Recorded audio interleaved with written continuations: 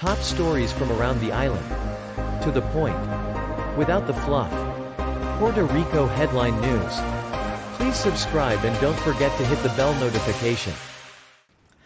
Hello and welcome to Puerto Rico Headline News for March 30th, 2020.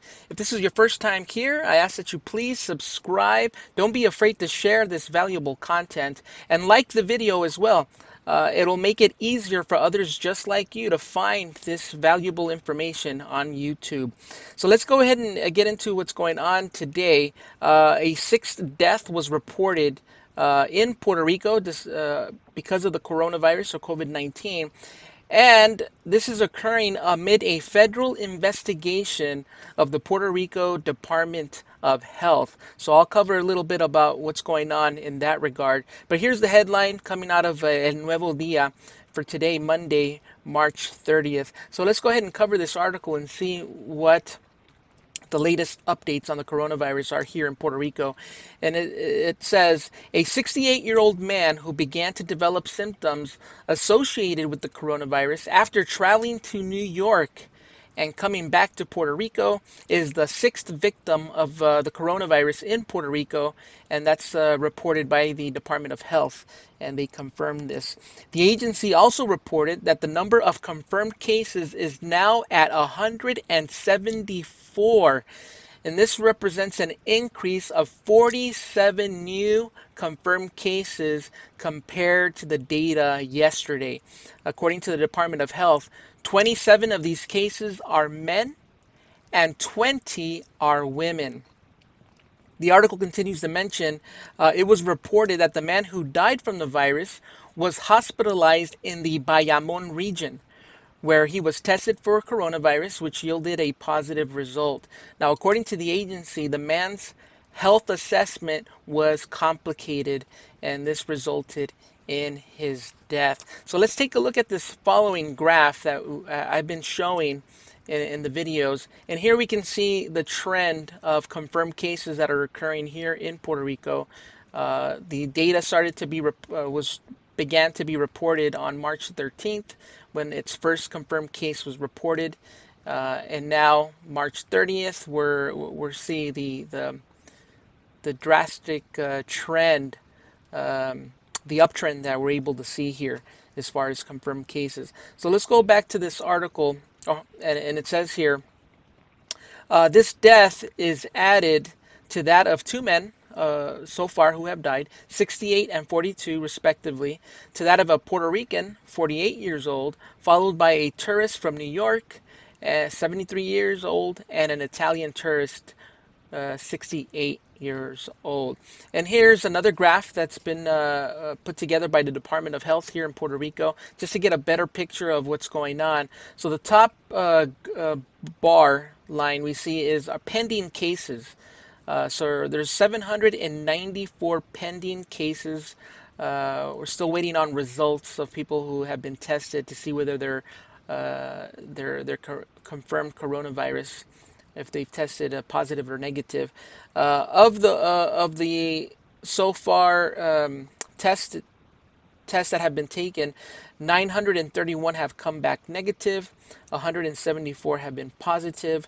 There's been six deaths, and I think we're seeing this number for the first time. Uh, two that have recovered. Um, so that gives us a better picture. The article continues to mention that we're entering a critical week here in Puerto Rico. The health secretary, Lorenzo Gonzalez Feliciano, acknowledged that the numbers of confirmed cases and deaths continue to increase. So citizens must stay at home. And then he's quoted as saying, This should serve as an alert for all that we are facing a serious situation in which each one must assume active responsibility. We must abide by the instructions of social distancing given by the government and avoid leaving your house. This will be the only way to stop the spread of the virus, the official stated in a press release. He also explained that of the 47 new cases reported today, 14 were confirmed by the Department of Health uh, their lab. Two were confirmed out of the Veterans Hospital, and 31 confirmed cases uh, are from the private laboratories around the island that have also begun testing and reporting. Here's an additional graph that helps us uh, better, better understand what's going on here. And these are the confirmed cases broken down by age. So we see there that the highest concentration of confirmed cases are for those between the ages of 50 and 59. Uh, and then it, it goes down, the next higher level is the ages of 40 to 49. Uh, and then 60 to 69. So, I mean, it's pretty much spread all around. Uh, so, none of these age groups should drop their guard. We shouldn't drop our guard uh, regarding the uh, COVID 19 and the possibility of becoming infected. So, we, we should keep our guard up regardless of whatever age we find ourselves in. Now, the article continues to mention uh, the towns that have reported the most cases are San Juan and Caguas. However, the Department of Health does not yet have complete data by municipality. They don't have the, bra- the breakdown by the municipalities. They're currently working on that, and they will also begin, hopefully, this week, they'll begin contact tracing as well. What, what is contact tracing? Well, that's when they have a confirmed case uh, and they try to track down or trace all those that may have come into contact with that confirmed case. Family members, relatives, um, whoever they are, and then they, they contact them and let uh, inform them that they've been in touch with someone who's been a who's now a confirmed case, and they should take the precautions necessary. Um, you know, maybe even quarantining themselves or, or, just being alert to keep to stop the possibility of them uh, infecting others. So it's a it's a nice, uh, you know, something that very important to do to let those that uh, may have come into contact with someone who's now a confirmed case take the necessary steps to protect themselves and their own families and friends as well. So the article continues to mention Gonzalez Feliciano pointed out that so far 1,898 coronavirus tests have been carried out, of which 930 have come back negative, while they're still waiting on the results for 794 of those tests. For his part, the director of the Coronavirus Medical Task Force, Dr. Segundo Rodriguez, announced that Puerto Rico is entering a decisive week of the spread of the disease on the island. So it is expected that cases will continue to increase. And here's a, a, a some a back um, a breakdown of the regions, not by municipality but by region. And here once again we see this 83 number, and that's the uh, the metropolitan area, San Juan. You have the Caguas area here, and over here you have the Mayagüez uh, region.